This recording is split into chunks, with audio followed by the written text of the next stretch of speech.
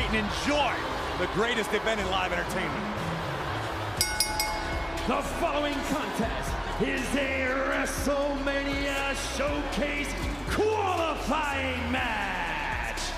Introducing first, Sonya Deville.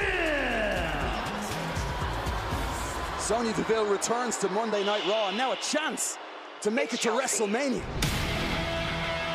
And our tag team partner, Chelsea Green.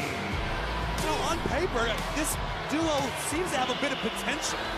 Sonya Deville's had a great deal of success, and Chelsea's well on her way. But they have to get past Michin, Mia Yim, and Candice LeRae.